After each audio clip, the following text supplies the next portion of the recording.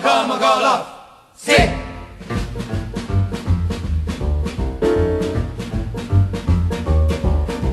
Il siero di Strogomogolov è una cosa che la gente fa impazzire. Non è una medicina, si beve la mattina come usava Michele Strogov. Un giorno il grande Rimsky-Korsakov, punzecchiato da un feroce calabrone, guarì la sofferenza bevendo con frequenza il siero di Strogomogolov.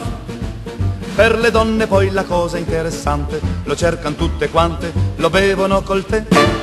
Favorisce la freschezza della pelle, depila pur le ascelle, sviluppa il décolleté. Il siero di Strogomogolov ci guarisce dalle amare delusioni. Chi vuol trovare l'amore sosseggia tutte l'ore, il siero di Strogomogolov.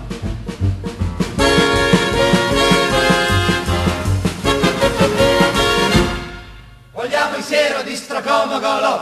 Sì!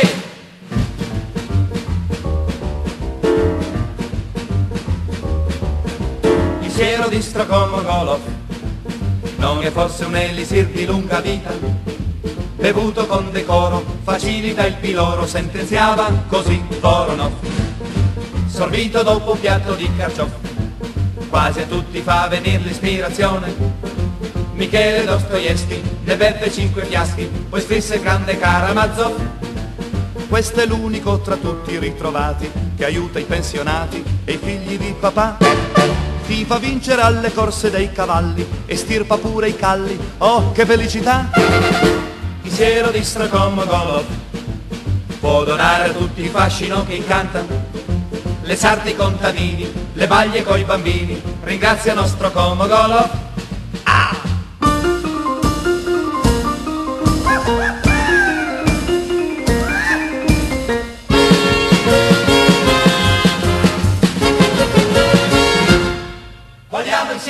Siero di Stracomogolov?